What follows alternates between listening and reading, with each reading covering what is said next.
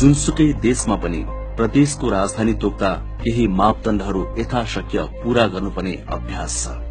ती मध्ये सर्वाधिक बलियो मापदण्ड हो जनताको सहज पहुँच।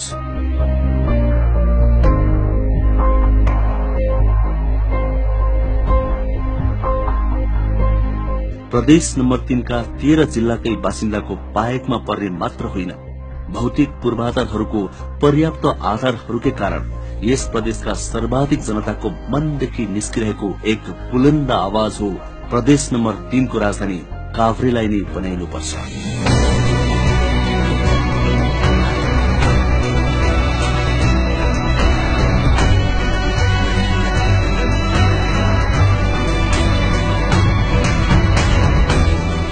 हुन पनि भौतिक पूर्वाधार नभएको ठाउँमा राजधानी बनाइदा पूर्वाधार निर्माणमै दशकौं बित्छ यसले विकासका अरू प्रयासमा बाधा पुग्ने यथार्थ छर्लङ्ग छ। प्रदेश नम्बर तीनका तेह्र जिल्ला मध्ये काभ्रे नै यस्तो जिल्ला हो जहाँ रहेका भौतिक पूर्वाधारहरू राजधानीका लागि पर्याप्त छन्।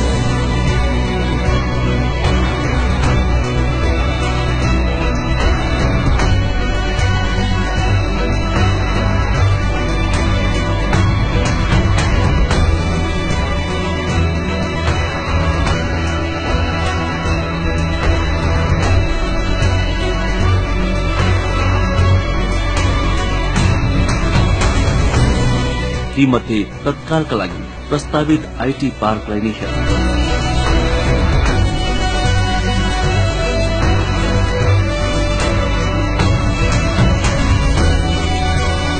सरकारी स्वामित्वको करिब दुई सय रोपनी जमीन ओगटेको आईटी पार्कमा हाल रहेका संरचनाहरूमै चारवटा मन्त्रालय लगायत मन्त्री निवास सभामुख उपसभामुखको कार्यालय स्थापना गर्न पुग्ने कोठा तथा बैठक हलहरू पर्याप्त छन्।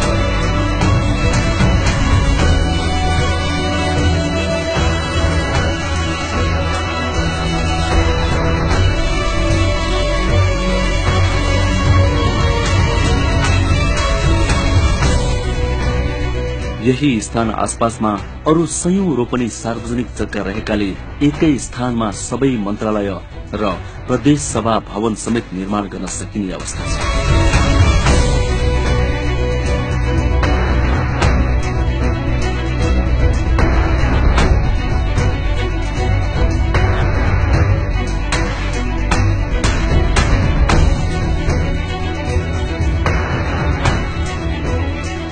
यसबाहेक धुलिखेल स्थित शैक्षिक तालिम केन्द्र भवन र यसमा रहेका सुविधा सम्पन्न हल तत्काल नै प्रदेश सभा सञ्चालनका लागि उपयुक्त छन्। यहाँ रहेका आवासीय भवनहरू पनि मन्त्री निवासका लागि उपयोगी छन्। त्यस्तै प्रादेशिक राजधानीका लागि तत्कालै थेग्न सक्ने धुलिखेलकै नापी तालिम केन्द्र पशु विकास कार्यालयको नयाँ भवन जस्ता थुप्रै पूर्वाधारहरू काभ्रेमा उपलब्ध छन्।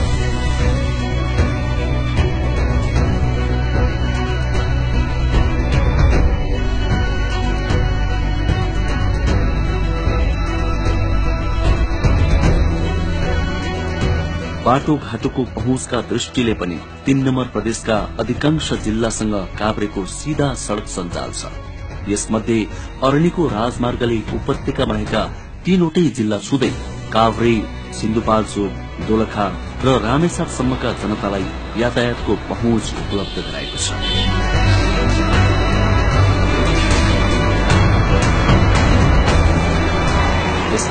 बनिपाबाट पूर्वी नेपाल जोडिएको वित्तीय राजमार्गले काभ्रे सिन्धुली रामेछाप र दोलखाका बासिन्दालाई यात्रामा धेरै सहज बनाइदिएको छ।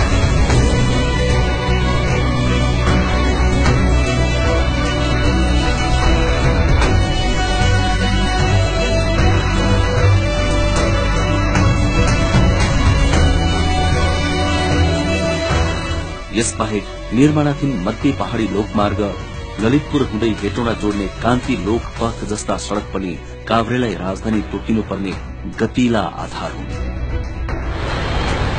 सड़क जाम धुवा धुलो र प्रदूषणले ग्रस्त संघीय राजधानी रहेको काठमाडौँ उपत्यकाबाट थोरै मात्र बाहिर निस्कन तीन कुनेबाट सूर्य विनायकसम्म छ लेनको सड़क छ।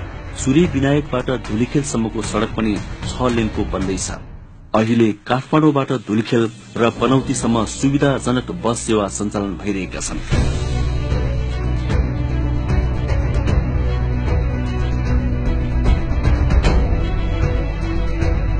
आसपासका अरू जिल्लाबाट काभ्रेसम्म आउजाउ गर्न सहजताका लागि पनि सार्वजनिक यातायातको सेवा निकै भर पर्दछ।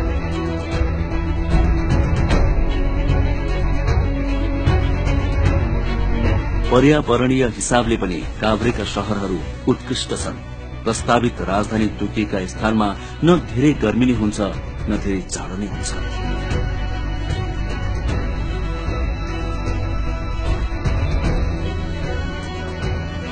त्यस्तै बनेपा धुलीखेल पनौती नाला शंखु जस्ता शहर विस्तारका लागि उपयुक्त स्थान पनि काभ्रेमा प्रशस्तै छ औद्योगिक क्षेत्रको विकास र विस्तार गर्न पाँचखाललाई विशेष आर्थिक क्षेत्र घोषणा गरी जग्गा अधिग्रहण लगायतको काम भइसकेको छ।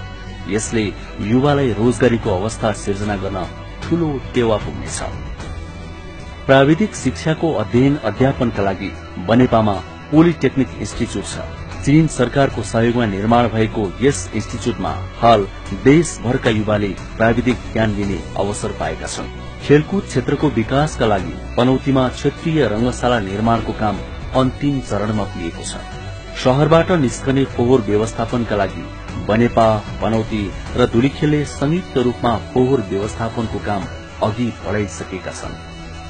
दूध मासु र कृषिजन्य उत्पादनमा पनि काभ्रे आत्मनिर्भर भइसकेकाले पनि यहाँ नै यस प्रदेशको राजधानी राखिँदा प्रदेशको समृद्धिमा थप बल पुग्नेछ।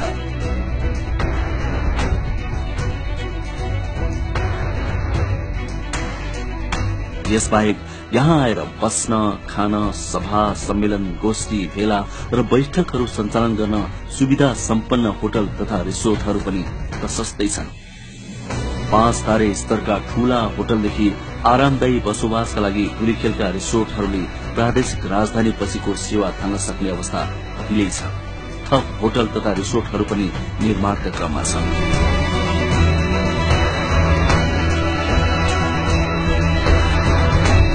राजधानीका लागि चाहिने अर्को पूर्वाधार हो स्वच्छ खानेपानी। देशकै नमूना खानेपानी आयोजनाका रूपमा धुलीखेलको खानेपानी चर्चामा छ। हाल चौध लिटर प्रति सेकेण्ड पानी आपूर्ति हुने धुलीखेल खानेपानी आयोजनासँगै जोडेर काभ्रे भ्याली एकीकृत खानेपानी आयोजनाको काम धमाधम भइरहेको छ।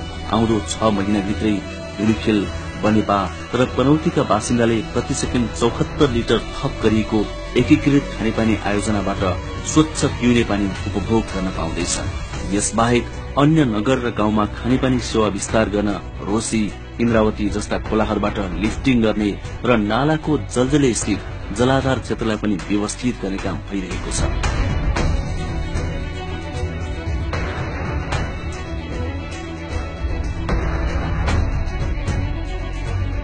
खानेपानीको यस्तो सुविधा अन्य जिल्लामा सायदै होला।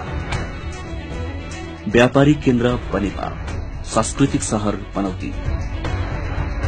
पर्यटकीय शहर तुलिखेलका साथै धर्मबुद्ध बिथानचोक नगरकोट सुलीकोट जस्ता स्थान मार्फत प्रशस्तै आर्थिक समृद्धि भित्राउन सकिन्छ।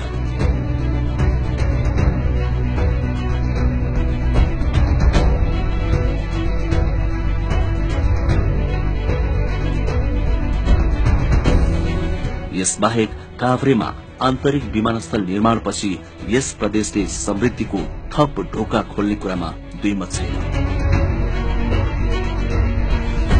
दक्षिण एसियाकै नमूना तुलिखेल सामुदायिक अस्पताल।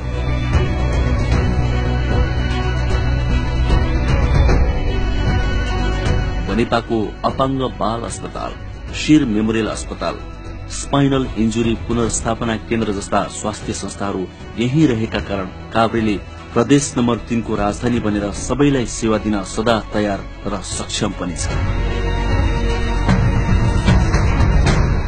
अर्को कुरा काठमाडौँ विश्वविद्यालय जस्ता अन्तर्राष्ट्रिय स्तरमै ख्याति कमाइसकेका शिक्षण संस्थाले पनि काभ्रेलाई तीन नम्बर प्रदेशको राजधानीका लागि प्रशस्त आधार मिलेको छ। संघीय राजधानी काठमाडौँबाट पनि नजिक यस प्रदेशका सबै जसो जिल्लाहरूको बीच र पाएकमा पर्ने भएकाले केन्द्र र प्रदेश बीच पुलको काम गर्ने एक मात्र ठाउँ हो काभ्रे। स्वर्णिम युगको शुरूआत हुँदै गरेको यो महत्वपूर्ण समयमा सम्झौता होइन भविष्य हेरौं व्यक्तिगत र राजनीतिक स्वार्थ होइन सबै जनताको समान पहुँच र सहभागितालाई ख्याल गरौं अनि मात्र हामीले सोचे जस्तो विकास र समृद्धि सम्भव छ